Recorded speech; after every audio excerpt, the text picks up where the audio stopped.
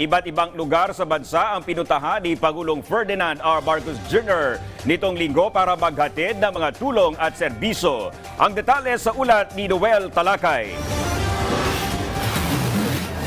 Personal na binisita ni Pangulong Ferdinand Marcos Jr. ang Calabarzon upang mamahagi ng tulong sa mga magsasaka at mangingisda na lubhang naapektuhan ng El Nino sa ilalim ng kanyang programang Presidential Assistance to Farmers, Fisherfolks, and Families. Makakaasa po kayo na patuloy po namin kayong aalalayan. Sama-sama tayong maglakbay tungo sa isang mas masaganang bukas, ang bukas ng bagong Pilipinas. Mabuhay ang ating mga magsasaka, mabuhay ang ating mangingisda, mabuhay ang Batangas, mabuhay ang Quezon, mabuhay ang bagong Pilipinas. Nasa 30 mga mangingisda at magsasaka ng Calabarzon ang nakatanggap ng tig 10,000 piso. Nakatanggap ng karagdagang tulong ang provincial government ng Batangas ng mahigit 24 million pesos, higit 17 million pesos sa Laguna at higit 28 million pesos naman sa Quezon. Isang malaking tulong po sa amin yung sa akin yung tulong na assistance na pagkakaloob ng Pangulo dahil unang-una may may bili ko rin ng pananim tsaka insecticide, pesticide, mga ganun.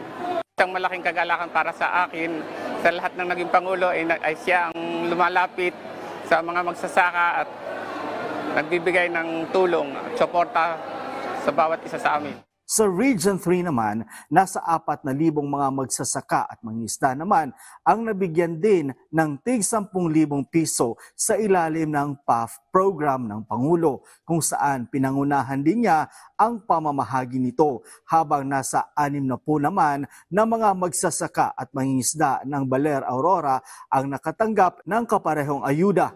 Laking tulong para sa aming pamilya dahil sa mga aming gawain sa pamahawan sa pag-aaral ng mga anak. Lalo sa trabaho namin. Tanging puhunan po namin sa paggugalayan at saka pagkatulong sa aming pamilya. Salamat po sa binigay tulong sa amin ni Presidente. Malaking tulong po ito para sa aming pamilya. malaking tulong po sa amin para, para sa amin yung assistance na ito. Dahil sa pang-araw-araw namin, pwede namin magamit. Maraming maraming salamat po sa ating Pangulong BBM sa napakalaking tulong na bi- ibibigay niyo sa amin.